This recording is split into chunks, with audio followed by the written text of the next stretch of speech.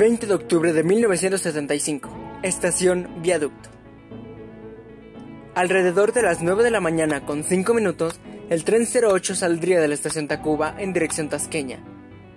9.36 aproximadamente, el tren de Fernández Sánchez, conductor del tren 10, se detendría en Chabacano, mientras que el convoy conducido por Alfonso Sánchez Martínez se detenía en viaducto, ya que la palanca de emergencia sería accionada.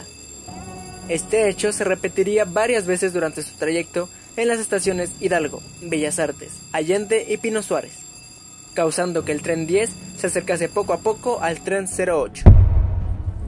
Mientras el tren 08 se encontraba detenido en viaducto, el tren 10 comenzaba su progresión a la siguiente estación, ya que la señalización marcaba vía libre, y argumentando en su declaración que no escucharía ninguna orden de PCC pidiendo detener la marcha.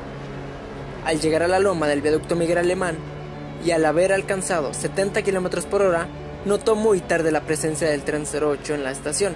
Así que para salvaguardar su vida y al ver que la inercia y el peso del tren ganarían, se arroja del tren en movimiento, dejando colisionar ambos trenes aproximadamente a las 9.40 de la mañana, dejando un centenar de heridos, aproximadamente 31 muertos y daños permanentes a los trenes e infraestructura de la estación.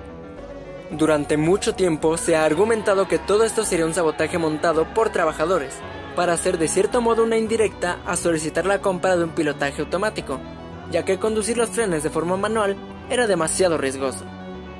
Al final se dice que se les pasó la mano, ya que ellos únicamente querían provocar un pequeño alcance, más no una catástrofe como esta así como también las teorías sobre las diversas motrices que pudieron ser accidentadas aquel día.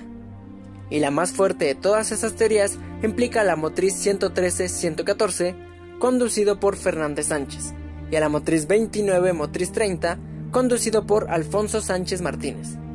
Y por lo menos, tengo la seguridad y una foto que lo comprueba de decir sin especulaciones que la motriz 29 motriz 30 realmente participaría en esta catástrofe. No he logrado encontrar fotografías que muestren o aseguren la participación de la motriz 113-114, pero tomando como referencia esta teoría, sería la más exacta.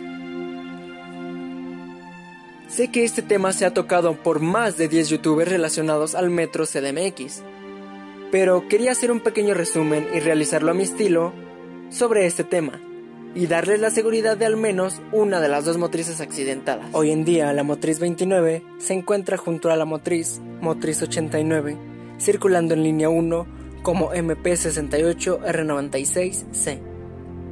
Y la motriz 114 se encuentra detenida por falta de refacciones junto a la motriz 25 en garage de Ciudad Azteca.